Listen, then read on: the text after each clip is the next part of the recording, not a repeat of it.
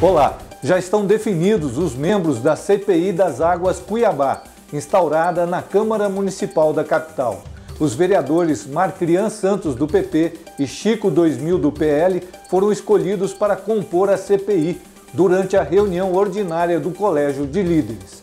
Marcrian será o relator e Chico, membro titular. O presidente da CPI é o vereador Diego Guimarães, do Cidadania. Inclusive, o vereador Diego está ao vivo agora, concedendo uma entrevista ao jornalista Abraão Ribeiro no site do Única News. A Secretaria Municipal de Assistência Social, Direitos Humanos e da Pessoa com Deficiência realiza nesta terça-feira, 29, o segundo encontro municipal Vidas Negras Importam.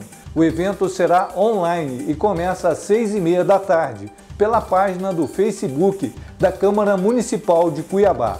O encontro é uma parceria entre a Secretaria Adjunta de Direitos Humanos e os Conselhos de Direito.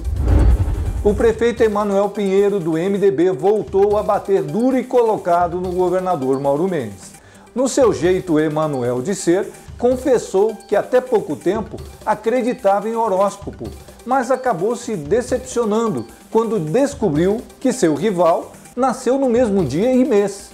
Mendes e Pinheiro são do signo de Ares.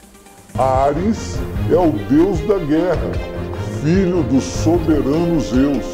É um dos deuses gregos mais impiedosos e truculentos. Mas Emanuel jura de pé junto que é da paz e do amor. Já Mauro Mendes. O governo atual não tem nenhuma aptidão para o diálogo.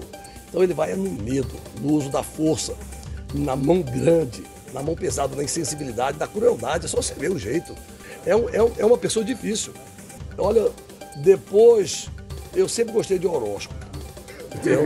Eu sempre, depois que eu descobri que ele nasceu no mesmo dia que eu, nunca mais li horóscopo na minha vida, entendeu? Ou homem, ou tem nada a ver um com o outro. É água e óleo.